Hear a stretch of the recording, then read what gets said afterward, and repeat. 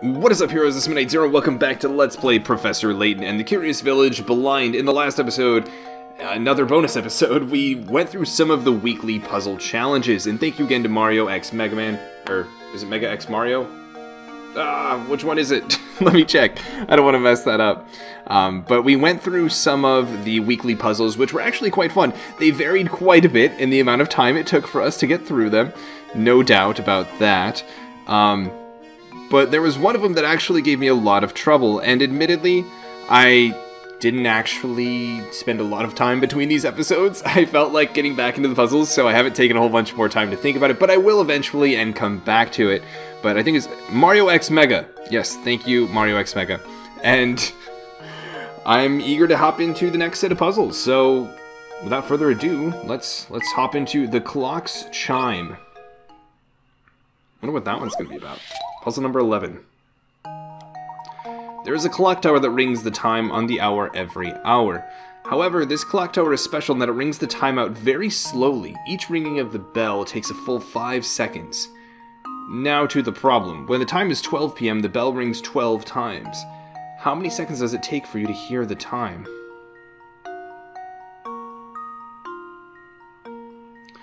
So, 12 five times, right? Uh, that would be a that would be a full minute.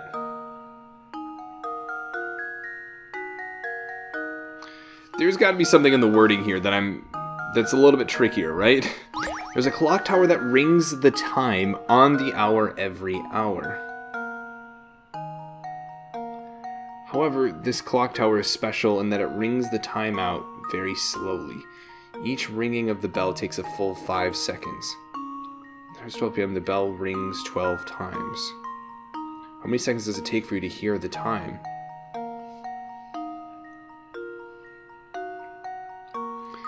I mean, I'm tempted to say 60 seconds, but but that seems too obvious. There's got to be some twist to it, right? I think I'm having a poor understanding of what it means to ring the timeout very slowly, or to ring the timeout at all. When the time is 12 p.m., the bell rings 12 times. How many seconds does it take for you to hear the time?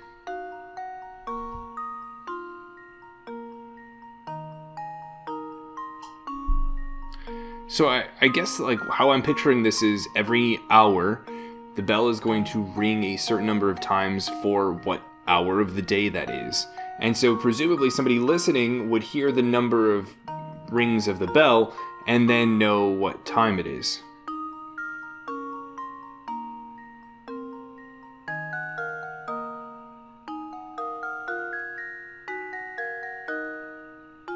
So I'm thinking you would need to listen to all 12 rings in order to do so.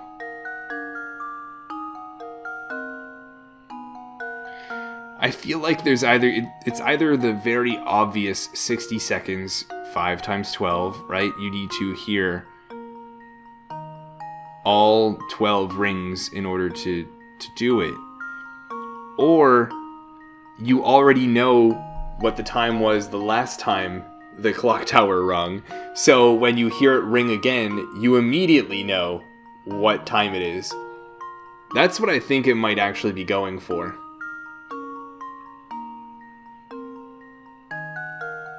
But then if that's the case, would it be five seconds for one full ring? Or would it just be, I don't know, one second for the start of a ring, right? Because I think that's also a valid argument, right? You could know the time if you knew the previous time, right? And start to hear the bell ring again, you know it's been an hour. And you thus know what time it is. So you don't need to listen to all 12 rings in order to know what time it is.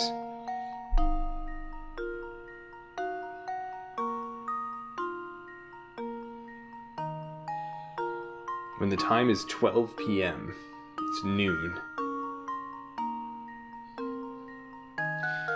Yeah, I mean, I, I don't think I can think of much else to really throw at this problem.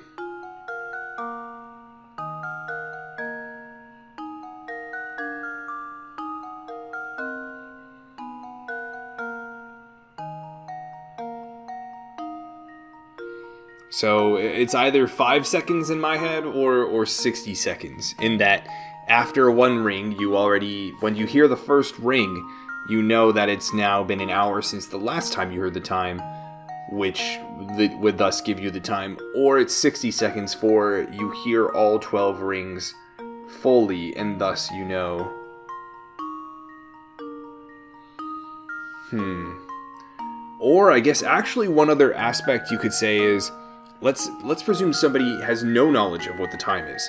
They need to know when it stops ringing, right? So after 12 after 60 seconds the bell has rung 12 times, but we don't know that it's going to ring or not going to ring again.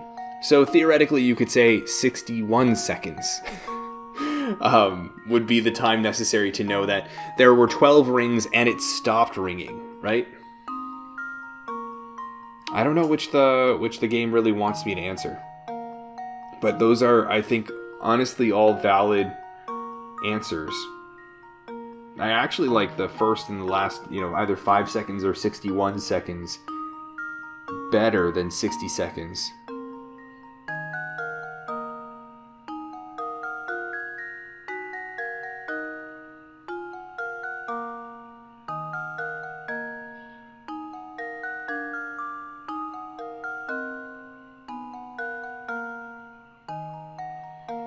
Guess the other thing is, does the ringing is the ringing continuous for the full five seconds, right? Or would it have to be 65 seconds to know that it didn't ring a 13th time? So is it going to want 61 seconds or 65 seconds? I actually think that's the answer they're going for. Basically, it needs to ring 12 times, and then you need to know that it doesn't ring a 13th time. At what point do you know that it's not ringing a 13th time, though, right?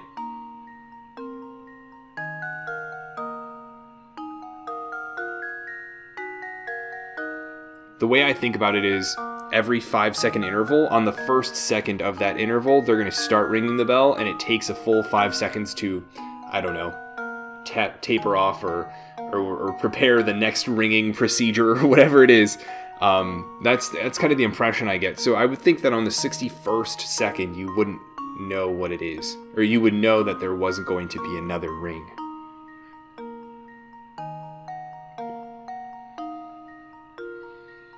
So I think I'm actually going to go with 61 seconds, and then my my second guess would be 65 seconds, and then I'd kind of get to the cheekier five seconds, right, where you technically only need to hear one ring. But then, given what I was just talking about with how the ringing during that five second interval works, would you just say one second then, right? All you need is one second of the first ring to know that uh, it's been an hour since the last time you heard the time and had it confirmed, right? So I'm gonna go with 61 we'll see. Either way, I feel pretty comfortable with how I've thought through the problem, and I think there are a few different angles you could take. Well, here's my That could use some clarification. Yeah, so I'm, I'm not surprised. Oh, I was sure I had it. If you could get the right solution by just multiplying information given to you, this wouldn't be a puzzle, it'd be math class. I, I know that. so we'll try 65 to see if maybe that's the aim they were going for. But We'll we'll see. If that's not it, maybe there is something I'm completely missing to this puzzle. I'd be I'd be really bummed if I was losing picarats over a question like this. That's not it either. Oh, I was sure I had it. I was sure I had it indeed. Okay, so they'll go there goes my first two guesses. Hmm.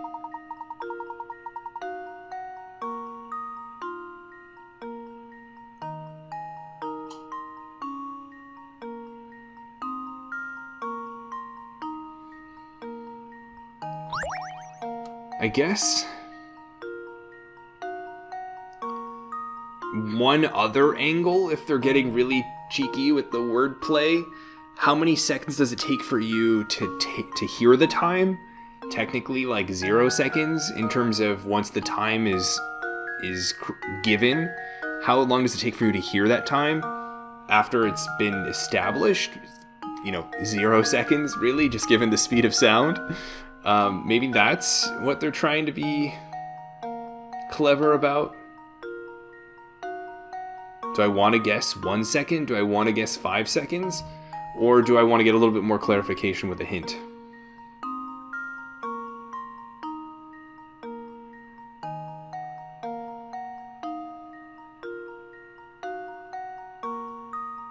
Maybe, maybe it is the zero.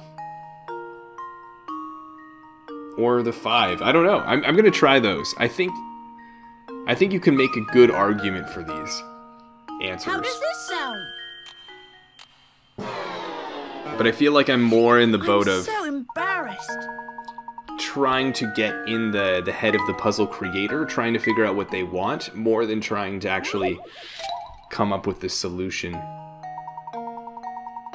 So we'll try we'll try zero, and um, see if that works. And if not, then we'll go with a hint. I'm, I'm glad I can actually be a little bit more free with trying answers, not having to worry about picarats at least let you down, because I think that would make this quite a bit more frustrating. So we'll give a hint a go, and maybe that'll help us understand what angle we should be taking to approach the problem. Let's see, the bell will ring 12 times and there are 5 seconds between each sounding of the bell. It sure sounds simple, but there's at least one step everyone overlooks at first. Think about what needs to happen in order for you to realize it's 12 o'clock.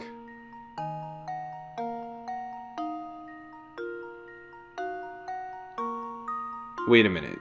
Each ringing of the bell takes a full 5 seconds. But this is saying the bell will ring 12 times and there are 5 seconds between each sounding of the bell. Did I try 65?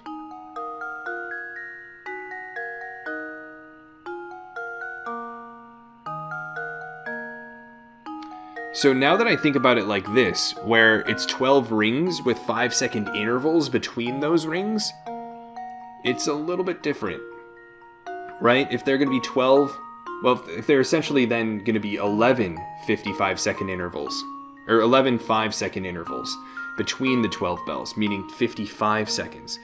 But again, I would still argue you need to know that there won't be a 13th one, right? And you would have to wait that extra 5 seconds, which would be 60 seconds, which is not something we tried, admittedly, but given that they keep telling us it wouldn't just be simple math class, this isn't just simple math class where we multiply the numbers given, um, I highly doubt that's the answer. There's at least one step everyone overlooks at first. Think about what needs to happen in order for you to realize it's 12 o'clock.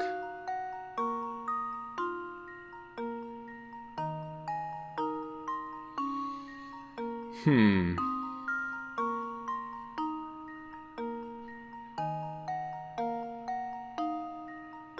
It's not 61, it's not 65. There's one step everyone overlooks at first.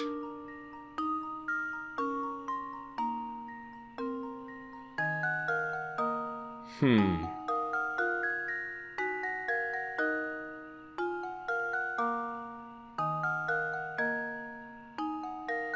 So now I'm trying to think Am I interpreting things right? Each ringing of the bell takes a full five seconds. And then the hint says there are five seconds between each sounding of the bell. I feel like those are two very different things, right? Um, if if each ringing of the bell takes a full five seconds, and there are five seconds between each sounding of the bell, that's that's very different, right? That's a ten, that's a full ten seconds. And if that's the case, again, are we still considering the first time you don't hear a bell, right?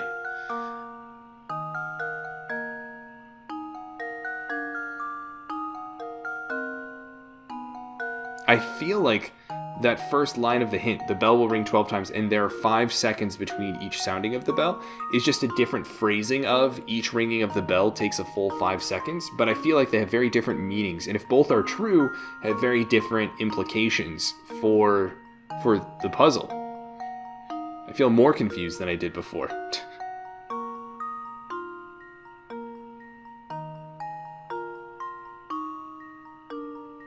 Think about what needs to happen in order for you to realize it's 12 o'clock.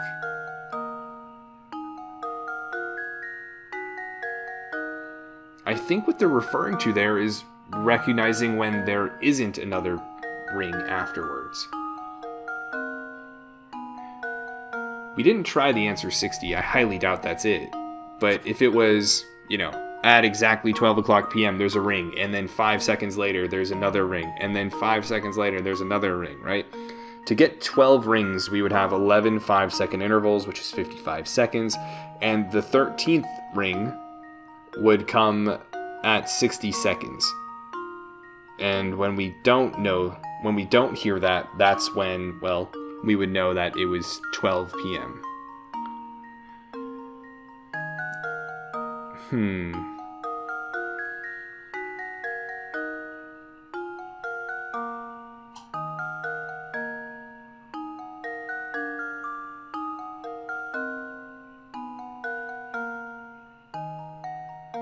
We supposed to consider somebody ringing the bells?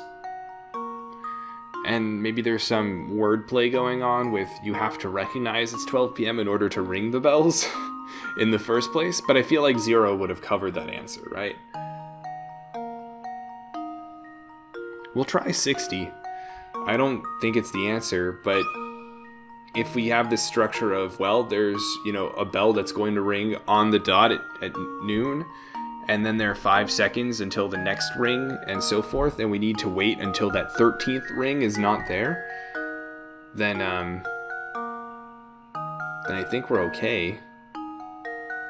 So I'll, I'll go with 60, but otherwise, I feel like I'm just grossly misunderstanding what the puzzle creator wants me to I think I get from the puzzle.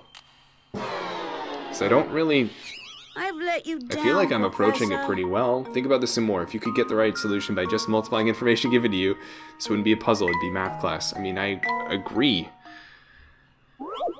Oh boy. Hmm. Let's see. What could I be missing about this puzzle? Yeah, I don't know, guys. I can't really can't really think of much else. The only thing like eh, is that I don't really believe, but is sort of like a last ditch effort, is to kind of combine the wording from the hint and the original problem and say, well, maybe each ringing takes five seconds, and there are five seconds between each ringing, thus 10 seconds per ring, and we would know after 120 seconds, well, it'd take 120 seconds to do all 12 rings, and so we would know on the 121st second that there wasn't a 13th ring. So that's what I'm going to go with. At this point, uh, I'm getting frustrated because I feel like I'm more grappling with what does the puzzle creator want me to see, um, rather than coming up with maybe a, a pretty logical How does this solution. Because I felt like I've come at this from a pretty reasonable angle, so and just gonna end up pretty sour, uh, feeling pretty sour about the game as a whole. So I think I'm actually just gonna look this one up, and I'll do that, and I'll offer some comments on it in a moment. All right, so I just looked it up, and basically they're saying that you know on the start of the 12th ring that it'll be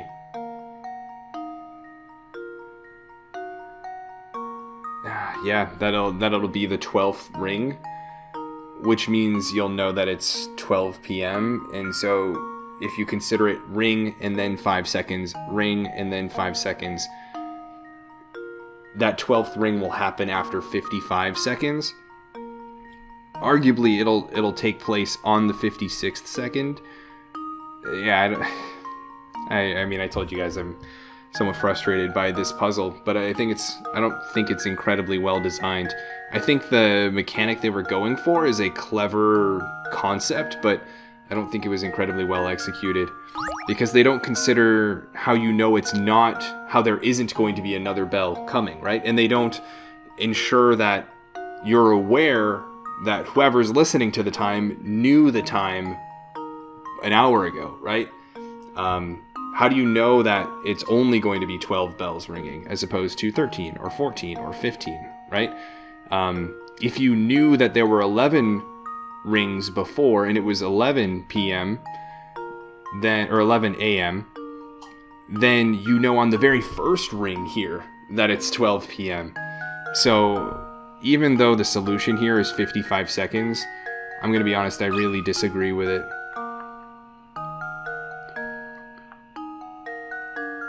Yeah, especially because when they say each ringing of the bell takes a full five seconds, it makes it sound like the duration of the ringing takes place over the course of five seconds. Meaning you would hear the the 12th bell on the start of the 56th second. So, we'll do 55 for the sake of submitting it and, and getting that check mark. I think I've got it. It was fun to think through the different angles of this Professor, problem. But I don't think that this is the correct way of going about it. I mean, we'll read many people's first instinct is to multiply 5 seconds by 12 rings of the bell, thus coming up with an answer of 60 seconds. The thing is, you'll know it's 12 o'clock the moment you hear the bell ring out for the 12th time. This means you're only really waiting for the bell to ring 11 times. 11 rings times 5 seconds per ring equals 55 seconds. This is how long it takes for you to know the time.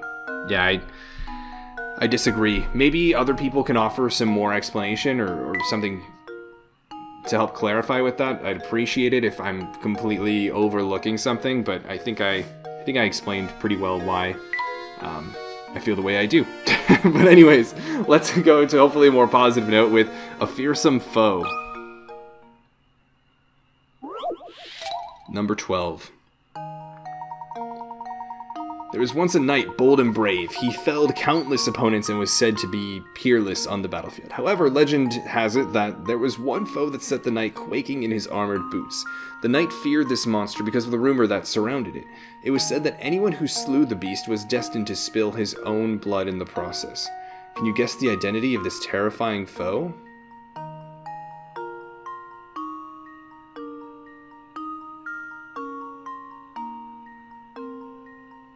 Wait, what? Wait, what? What type of answer am I inputting here? A letter? Ah, I don't like this. Um, so it was said that anyone who slew the beast was destined to spill his own blood in the process. In the process. To spill his own blood in the process. If you slay the beast, right? It's gonna be something like fear, right? Like some emotion or some off the wall. It's not like I don't know, chimera or the Hydra or something like that, right? There was one foe that set the knight quaking in his armored boots. The knight feared this monster because of the rumor that surrounded it. As a quick aside, I really want to highlight this visualization. the monster is a big question mark, and the, the hero's shield also has a question mark, which is pretty cool. Do we get any inclinations to how many letters our answer is going to be, or... No, I guess not.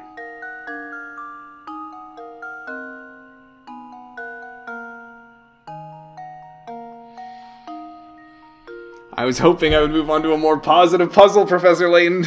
this is not what I asked for. Yeah, I'm not really, not really seeing where to go with this one. All I can think of is maybe like himself. Maybe his reflection. Like I don't, I don't know. Death. It's that line that I mean I'm sure the key is it was said that anyone who slew the beast was destined to spill his own blood in the process. So what would you have to spill your own blood in order to slay, right? If it's an, the first thing that comes to mind is yourself, right? Well, it's technically not necessary. I think I'm going to take a hint for some more direction. You too may have bested this foe in battle. Your answer should be eight letters long. Now I'm thinking in the lines of like, what is something that you can slay by giving your own blood, right? So I'm, I'm almost thinking in like medical terms now. Alright, I'm getting pretty bored of thinking about this one, honestly. Um, you too may have bested this foe in battle. I'm thinking like, I don't know. it's like gotta be something more positive, right? It's not gonna be like an amputation or like bacteria or surgery or malaria or, or something that involves actually giving your own blood in order to overcome some sort of obstacle. It's gotta be something more general uh, not as dark, and something that the average person actually has a chance of encountering. Um, I hope that something. I hope that the phrase "to spill his own blood" is not metaphorical, and I have to take that literally because if it's not, then there's just so little to work with. Um, the only thing I can think of is like yourself. Anyone who slew the beast was destined to spill his own blood in the process. And it's if it is one large metaphorical thing, um, that's all I can think of. So we'll go with that. And if it's not that, then I will come back to this at another time because it's now been. I'm sure I've done some editing to make things convenient for you, but it's now been close to 45 minutes or so since starting this episode, and I've just spent it all uh, thinking about puzzles that I haven't enjoyed as much. Granted, I will say that that first clockwork, you know, clock chime one, it was fun thinking about the different perspectives, and I think what I came up with was pretty cool. I think I'm just more upset about the uh, the fact that I feel like their solution was incorrect. But we'll we'll go with yourself and see if that works. Well, here's my guess. Yeah, I didn't think so. I'm so embarrassed. No, think again. This fearsome beast is one you're probably intimately familiar with.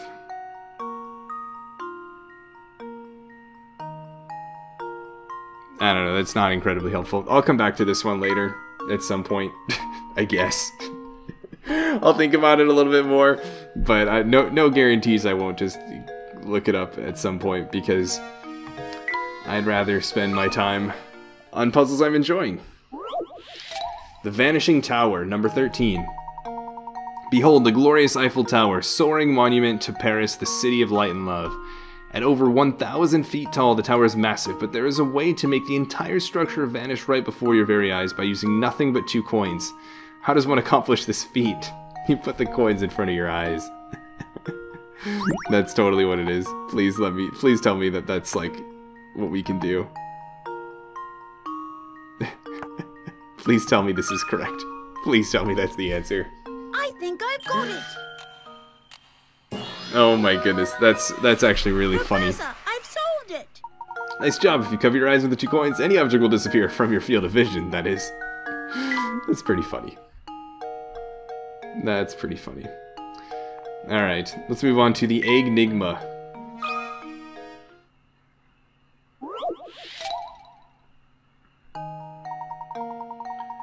The room shown below is perfectly square and completely empty. Okay, although I see some random kid in it. Um, four normal chicken eggs were placed on the floor of the room. Shortly afterward, a man came in with a giant steel cylinder and rolled it all over the floor. Amazingly, not a single egg was broken in the process. Can you guess where these eggs were placed? The eggs used in this problem are standard sized eggs but have been made larger so that you can move them around more easily. Shortly afterward, a man came in with a giant steel cylinder and rolled it all over the floor. Not a single egg was broken in the process. I appreciate that they say shortly afterward, so it's not going to be some trick like, oh, it's on the man himself, right? I think the idea is that you need to find a spot that will not be it, well it comes down to the fact that it's a cylinder right? And so you have to think about what areas could a cylinder not reach. And i think it's going to be the four corners actually. When you think about the cylinder can i can i draw no i can't draw. Oh man. Uh, when you think about the cylinders approaching the side of a wall right? So if we have, if, you imagine the cylinder approaching one side, not the corner, but one side, when it fully bumps up against the wall, there's going to be a triangle-like space between the cylinder and the the where the wall meets the floor, right? And so that's going to be kind of like a safe space. But we need to consider that the man could also approach from, you know, 90 degrees opposite that or rotated from that along the wall, and so that spa- that space wouldn't actually be safe. So the question is, what space is actually safe? I think it's actually only going to be in the four corners, because when you approach one of the corners with the cylinder, there will be that little angular, triangular esque space in the corner, and when you approach it from the other end, there will be still in the corner itself a small space that overlaps with the first triangular space. And that'll be the. Well, I, would imagine theoretically you could put all four eggs in one corner, but I think the idea is it's going to be spaced for one. Um. sorry, it's getting kind of late. Uh, it's going to be spaced where there's only room for one egg. So I think it is going to be in the corners. Anyways, let's reread the problem and make sure we're not missing anything. The room shown below is perfectly square and completely empty.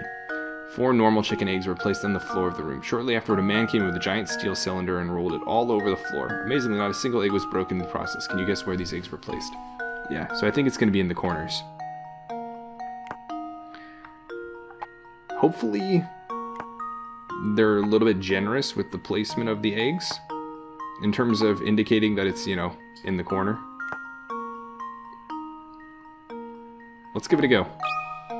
I think the the reasoning there is good. I think I've got it. All right. Professor, I've solved it. Yep, and there's that sort of triangular space I was trying to talk about. Good thinking. As shown here, there are few places in the room the big steel cylinder just can't reach. If you place the eggs in the corners of the room, even turning the cylinder on its side doesn't allow it to reach into the corners. Yep, that was that was a pretty neat one. All right, next up, the lost hat. Hopefully it's not Professor Layton's hat. He needs that. It does look like Professor Layton's hat, although I don't see Layton himself there. A river moves at a pace of a thousand feet per hour, and upon that river floats a lone gondola. At precisely high noon, a passenger on the gondola drops his black top hat into the water. The gondola turns around to collect that hat, the hat exactly 100 feet downstream from it. This particular gondola moves at a speed of 20 feet per minute in still water. How many minutes will it take the gondola to meet up with the top hat from the time the hat hit the water? Oh boy, um, let's let's think about this. So can I can I draw? I can. Lovely. So at high noon, the passenger in the gondola drops his black top hat into the water. So at this point, they should be at the same position, right? The next sentence says the gondola turns around to collect the hat exactly 100 feet downstream from it. Downstream from it. So this is actually worth noting because time elapsed, right, between dropping the hat and them realizing they need to turn around. Then this, so then they, they've already traveled, they've already gone downstream 100 feet, and then they need to go 100 feet upstream to get it. This particular gondola moves at a speed of 20 feet per minute in still water. Um, the 1,000 feet per water feet per hour, I don't think really matters because it's it's affecting both the gondola and the hat. So they're in kind of like the same frame of reference. How many minutes will it take the gondola to meet up with the top hat from the time the hat hit the water? Gotcha. So it's going to be the 20 feet per minute, right? So five minutes to get back to the hat. But it's also been five minutes since the hat hit the water and they traveled 100 feet from the hat in the first place. So I think the total is actually going to be 10 minutes.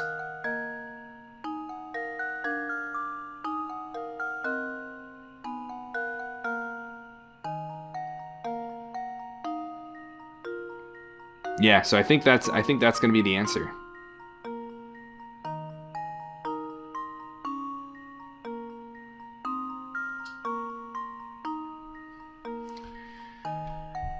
Yeah, let's give that a go. 10 minutes. Again, I don't think the 1,000 feet per hour really matters. Because... Because both the gondola and the hat are subject to it. Alright. I did it! Yes! The hat will be recovered at 1210. Since both the hat and the gondola are moving the same way on the same river, the river flow affects both items the same way. Do you guys see that? They used the wrong effect. Oh no, it should be with an A. affects both items the same way, effectively allowing the gondola to travel the same speed as if it were in still water. The gondola traveled 100 feet from that before turning back to retrieve it. This means the boat traveled 200 feet before picking up the fallen hat, since the boat moves at a speed of 20 feet per minute. Total time needed is 10 minutes. Reasonable, but definitely tricky in terms of they they very they're very sly about not mentioning that they traveled 100 feet since initially dropping the hat, right? But anyways, the lazy student, okay? Let's see what's going on, lazy student. What are you lazing about? A teacher was reprimanding a particular lazy student one day and told him the following At the very least, you need to study once a day for an entire week before a test. Don't skimp on time either. Each time you study, I want you to study for a minimum of two hours. The boy had no choice but to follow the teacher's orders, but decided he'd spend as little time possible doing so. Assuming the boy followed the teacher's orders exactly, how many hours did he end up studying? So here's here's the key here. I actually see this is this is pretty interesting. Um, the the line each time you study, I want you to study for a minimum of two hours. That's not each day I want you to study a minimum of two hours. Each time I want you to study two hours, and you need to study once per day. So the idea is if your study, if your two hour, because that's the minimum, study session can encompass more than one day, you're golden. And so I think the idea is, I don't know, the student starts studying at 11 p.m. on Monday and studies until 1 a.m. on Tuesday. He's then cleared Monday and Tuesday and can then study on Wednesday night at 11 p.m. Uh, for you know an hour, and then an hour Thursday morning until 1 a.m., and then Friday, Saturday, and then um, one hour on Sunday as well. Actually, that's pretty interesting, right? Um, so maybe because there are seven days, right? So Monday, Tuesday would be two hours, Wednesday, Thursday would be two hours, Friday, Saturday would be another two hours, which would make six hours. Then the question is, what do you do about Sunday? Sunday, he's still got to study, and presuming that that's his one week before the exam, Monday's the exam. You need to have all two hours or both hours in that Sunday. Because if you were to allow anything else, you wouldn't be able to decide just how much time would be on Sunday, right? There would need to be more time on that Monday. Yeah, so I think the the odd thing here is what do you do about the Monday that comes after this week? I think they want us to only consider this week, right? And so they we have this one last day on Sunday, and that'll be a minimum of two hours. So I think the total is actually going to be eight hours. Let's try that. I think that's what they want us to, to recognize. There we go. Okay, nice.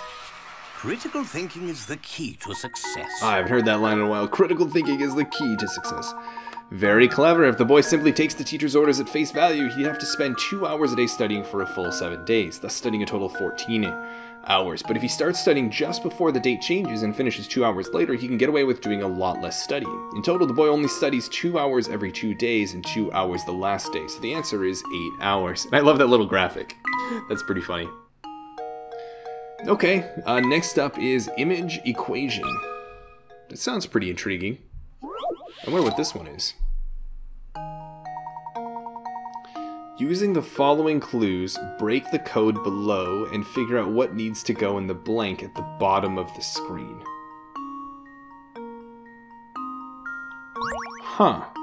So this is pretty interesting.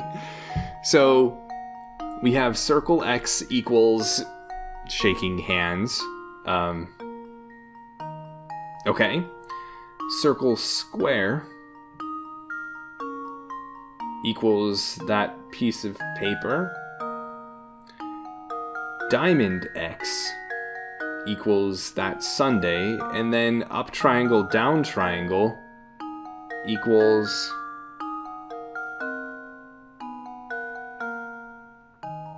picking up a suitcase or something?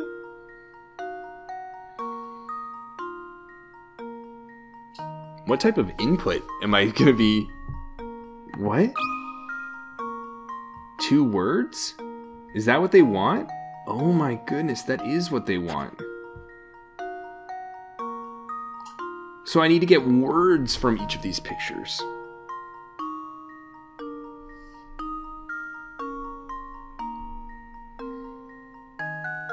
I don't know, guys. I don't know about this one.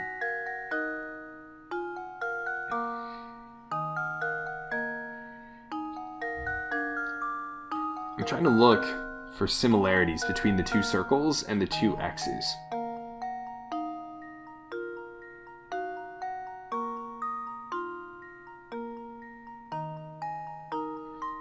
You know, to see if there's something. Does the X mean there's some th- something crisscrossing?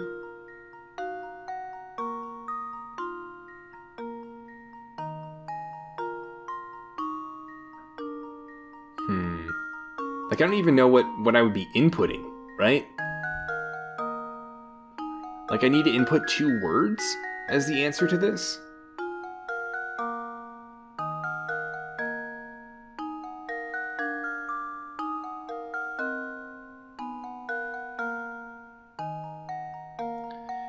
I don't know about this one, guys.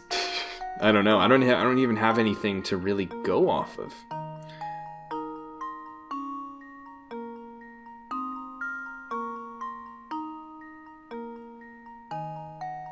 Think like abstractly. Like the square has something open and is square-like. X in the top left, you know, is the crossing of the hands. Arguably, the in the bottom left, there's the X of maybe the spoon and that that thing that's in the sundae, you know, crossing over.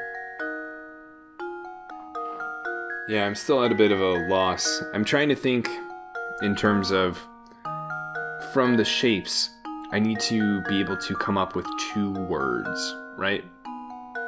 That describe each picture.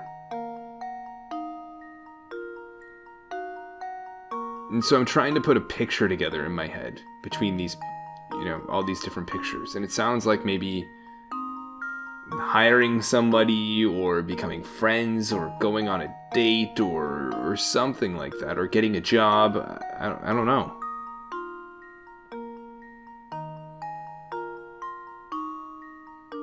i don't know that's the only way i can think of maybe maybe the shapes would tell me what would be the next step and from the story i get from the pictures i can figure out what the words would be, but I'm getting impatient, so I think I'm going to look at a hint. Look at all the options again and try to figure out what they have in common. Well, duh. well, duh.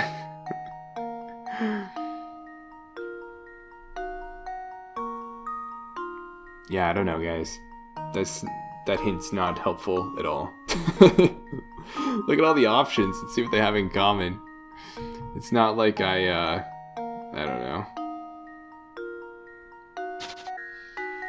Maybe I'll come back to it on a fresh mind, but I'll I'll quit for now. I'd rather end on a on a more positive note, so let's take a look at chicks and hens and see how that one goes.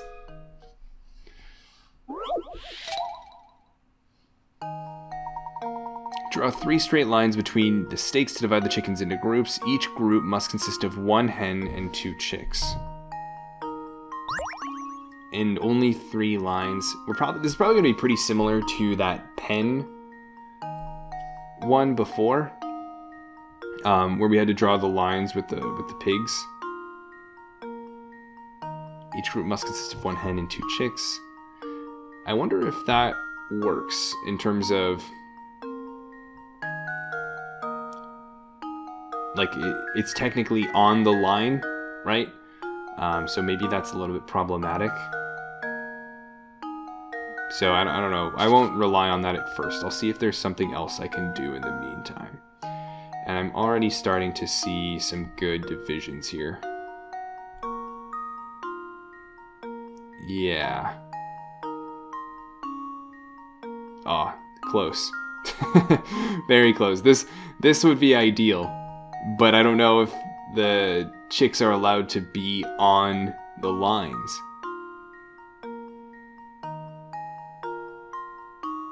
If they are, then this would do it. But maybe that's a little bit too close for comfort. So I'll think about it again. If I need to group, let's see here. Well, I mean, there are how many chicks, right? There are 12. Um, and I need two chicks per group, essentially, right? And there are six chickens, so I need to create six groups with three lines, meaning these lines will maybe all intersect together in the middle. Yeah, either that or it'll be similar to what I just made where there's one line with two lines coming across it. So let's think through that. Um, this this top left chicken could be grouped either with the chick with the two chicks above it or the two chicks below it or some combination of one chick each. I am again tempted to draw this line here. And then maybe this line here. Am I just redrawing what I've already drawn? Maybe. I feel like then I would have to do this one here. And that would work as well. Is that what I drew before? Oh, you know what? I think I can draw that more cleanly like this. That's probably what they want. Yeah, I don't see any overlap there. So this this this should be good.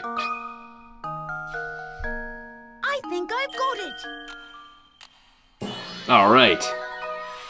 Professor, I've solved it. Nicely done. Now those are some happy chickens. Good stuff. All right, let's uh, let's look at jersey numbers. I want to get through a few puzzles that I'm enjoying. You are tasked with spray painting player numbers onto your team's baseball uniforms. You've prepared 10 paper stencils, each with a number from 0 to 9. With the stencils cut out, you are now ready to paint player numbers on all six jerseys.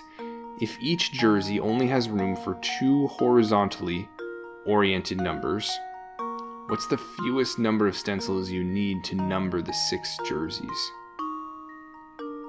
Has only has room for two horizontally oriented numbers.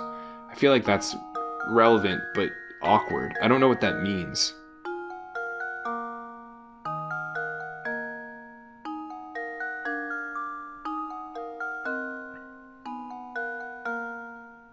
If each jersey only has room for two horizontally oriented numbers. What's the fewest numbers of stencils you need to number the six jerseys? So I guess, I mean, the idea here is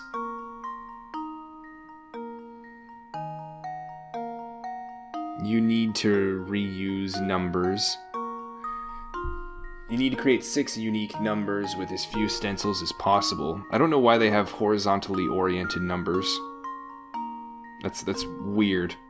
But um I guess the the 6 stencil could also function as a 9 stencil, which is really helpful. The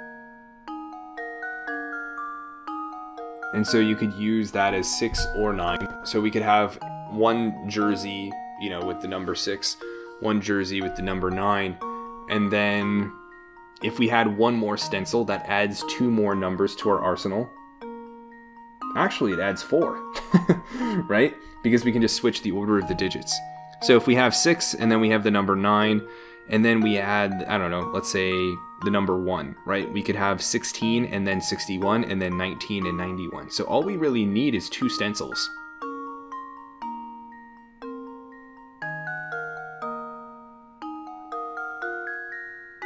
Yeah. The only thing I'm concerned about is can we fit two digits, right? It says two horizontally oriented numbers, but I don't know if that's if that means the same thing I'm thinking of. But I think that's I think that's what they're going for. So we'll do two for now. I think I demonstrated how that could be done. Supposedly that's not it, Frankly, though. I'm ashamed. You need to use as few stencils as possible. You may need to turn everything you know about numbers upside down to find the answer. Do you really only need one?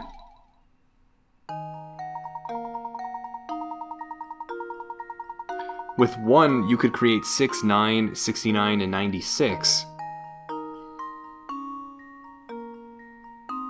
But not quite enough. Right? Because you could reuse the same stencil on the same jersey. So you could have, you know, the number 6, the number 9, 96, 69. Maybe you could use 6. Stencil in the 6.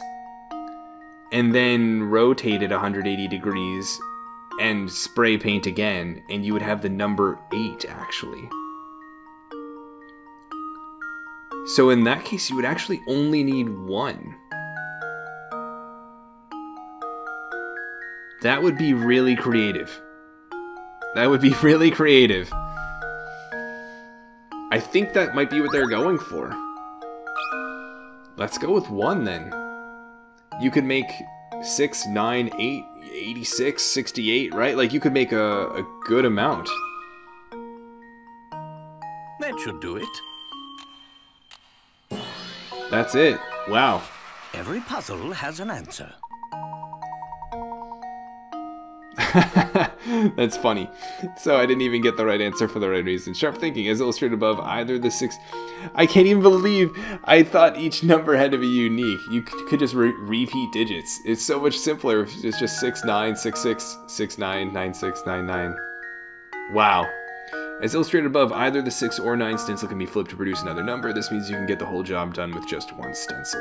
And theoretically, you could make 8 as well, I guess.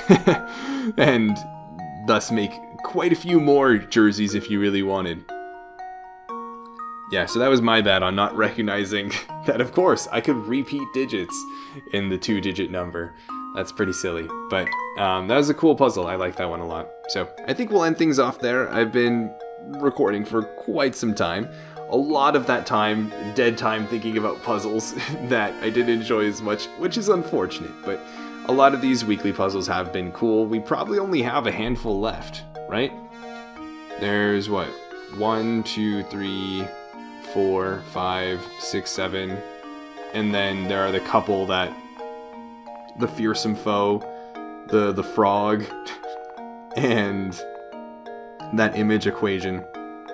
So so we'll see.